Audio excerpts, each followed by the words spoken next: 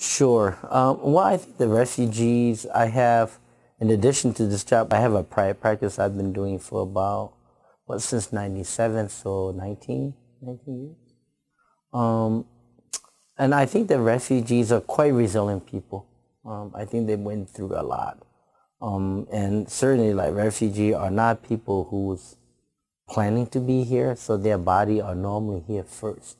And then the mind is slowly catching up to the body. So that's why when you see refugee on University Avenue, we'll see them in sandal and people don't think that they are uh, very smart, but they do. They are all very smart. They're very resilient.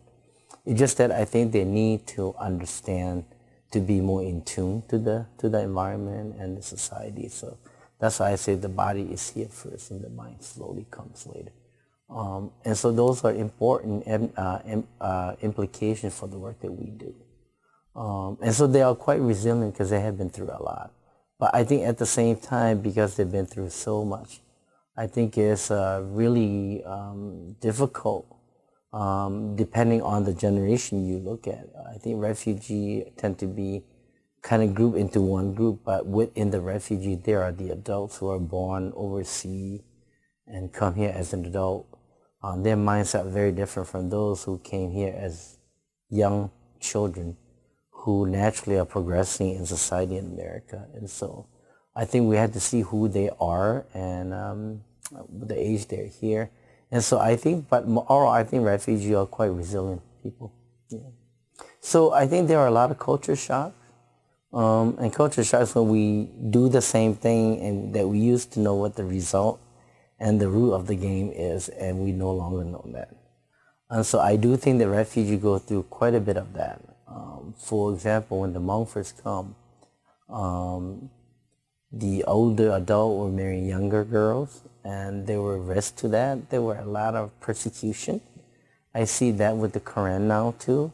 Um, so there are a lot of uh, the sense of self formation uh, changing based on the uh, environment, what it has to offer.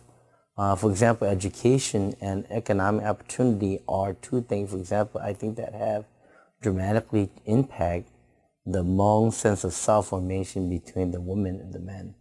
And then that dictates how the relationship between the couple will play out.